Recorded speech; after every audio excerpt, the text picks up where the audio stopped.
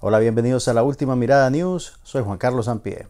Daniel Ortega conmemoró la muerte de Carlos Fonseca a como debe ser, revelando que él está más cerca de Jesucristo que cualquier sacerdote de la Iglesia Católica.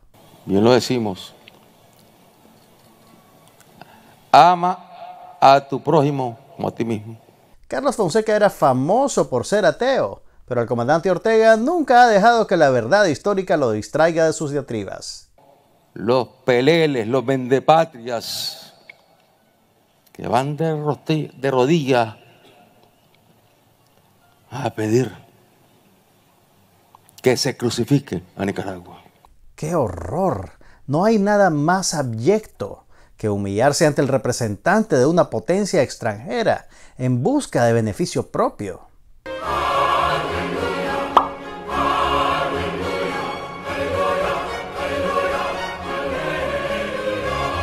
Hoy celebramos todas las victorias de Cuba, de Venezuela, la victoria de Bolivia porque será. Eh, sí, pues, a propósito de eso, un par de días más tarde, la lista de los países donde los Ortega podrán exiliarse se hizo más corta.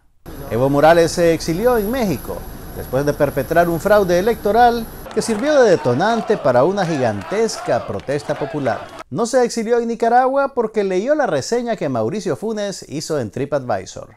El país es bonito, pero el anfitrión te obliga a escucharlo hablar por horas sobre la conquista española y el imperialismo. La anfitriona se mete en todo. Ya no hallamos cómo decirle a la Junior que a la Michi no le interesa ser modelo de Nicaragua diseña. No hay talleres autorizados de Ferrari y muy pocos bares. De haber sabido, me voy directo a Cuba. Rechazar de manera contundente y categórico este golpe de Estado que solo trae inestabilidad al pueblo de Bolivia y a la región de América Latina. La solidaridad de Nicaragua se manifestó a través de un pronunciamiento leído por el sindicalista Domingo Pérez, quien no se había quitado el disfraz de bandera venezolana que usó para la fiesta de Halloween de su CPC. Y mientras tanto, Rusia reconoció a la presidenta interina Janine Añez.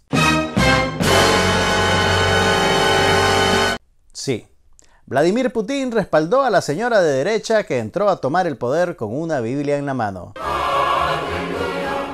Creo que Putin está troleando al mundo entero.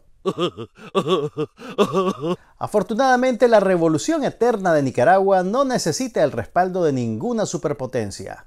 Ya nació el relevo que salvará al sandinismo de sí mismo. Compañeros, hoy miércoles 13 de noviembre damos a conocer nuestro movimiento sandinista 4 de mayo.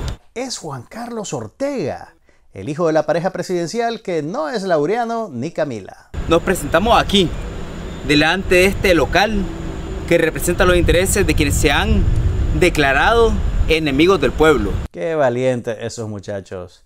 Fueron escoltados por policías a hacer un plantón a las puertas del COSEP fuera de horas de oficina. No hay nadie adentro a ellos les decimos, no pasarán. ¡No pasarán! ¡No pasarán! ¡No pasarán! No somos un movimiento afiliado al gobierno. Somos pueblo organizado. Mae, si tu papá es el presidente, tu mamá es la vicepresidente y vos sos el vocero del movimiento, entonces el movimiento está afiliado al gobierno. Apenas estamos empezando. Apenas estamos empezando. Escuchen bien, apenas estamos empezando. Suena más bien como que están terminando. Somos pueblo organizado. Y nos estaremos movilizando mientras el espíritu vende patria de los malos hijos de Nicaragua pretendan seguir amenazando la paz de las familias de nuestro pueblo.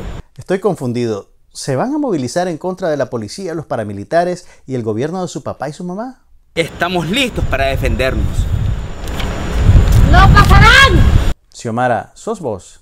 ¡No pasarán! ¡No, pasarán! Hoy, más que nunca, reivindicamos la consigna.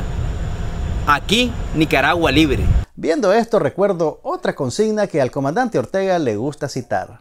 Como decía Carlos Fonseca, también enséñenle a leer. La libertad no se conquista con flores, sino a balazos. Vaya, eso suena a una amenaza paramilitar. y en las afueras del COSEP. ¡Viva Sandino! ¡Viva Sandino! ¡Viva Nicaragua libre! De los 10 miembros del movimiento 4 de mayo, los más inteligentes son estos dos majes, porque pasaron todo el tiempo tapándose la cara con la manta. ¿Saben? Creo que no era mala idea dejar que Juan Carlos Ortega se distrajera tratando de producir películas gringas. Por lo menos eso lo alejaba de la política. Esos fueron 400 mil dólares del erario público bien invertidos. This is gonna be a great wedding. Buenas noches.